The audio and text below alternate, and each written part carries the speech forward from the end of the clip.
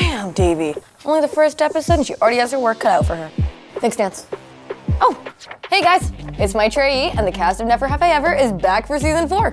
We just got our scripts. Are you reading this episode? Mm-hmm. Okay, is it just me or did Ben kind of become a stud over the summer? Yeah, no, I did not get that at all. Really? Because it is definitely in my pages. Okay, but can we talk about that boing card though?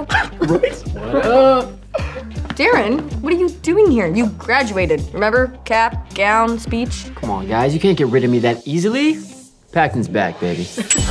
yeah, no, no, no, he's right. He's right. He's right there. See? Mm.